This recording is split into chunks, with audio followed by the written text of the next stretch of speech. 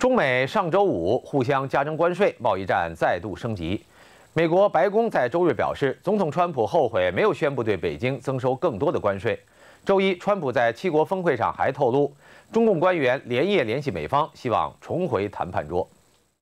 上周五，中共宣布要对价值七百五十亿美元的美国商品征收报复性关税。几小时后，美国总统川普宣布对五千五百亿美元的中国商品关税全面上调百分之五。中美贸易战再度升级。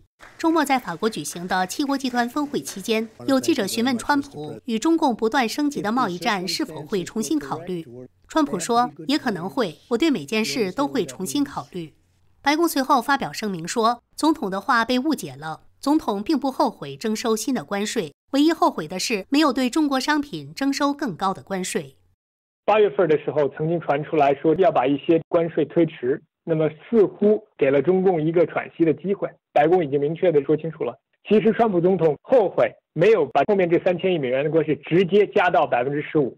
中共上周五提高关税的举动非常突然，而且选在美股开盘前突然宣布，导致道琼斯指数下跌六百二十三点。前一天，白宫经济顾问库德洛才向美国媒体表示，美中进行了富有成效的电话交流，并准备在九月举行新一轮会晤。而在川普应对中共报复、宣布进一步加税后，中共党媒《环球时报》又发表文章抨击美国，并声称不管美方如何表态，中方底线不动摇。新华网也转载《环球时报》的文章，声称时间在中方这边。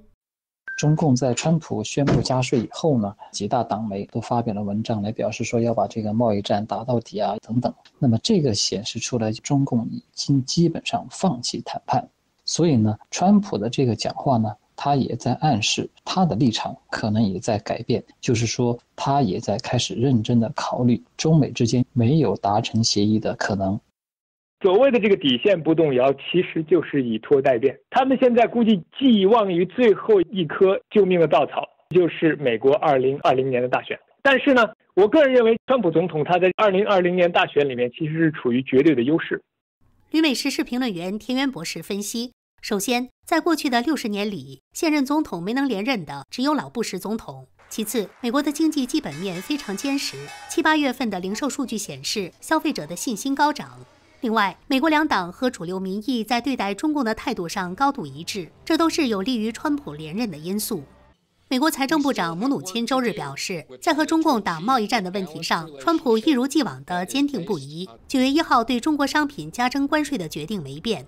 另外，针对川普说回应中共报复会考虑所有选项，姆努钦补充说，选项里可能包括根据国际紧急经济权利法使用总统权力。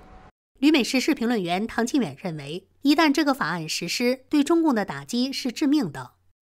因为根据这个法案呢，川普他有权终止所有与中共的外汇交易，等于把中共彻底踢出美元结算体系。那么那些关系到中国经济命脉的大型企业都将受到致命的打击。同时呢，川普他还有权冻结中共持有的美债，而且美国的企业也将在无法与中国进行任何交易，只能全部撤离。不过，川普周日表示，他目前没有考虑动用这一法案。周一，川普在七国会议讲话时还透露，中共官员连夜跟美国高级贸易官员联系，说希望能回到贸易谈判桌前，两国将再次开始对话。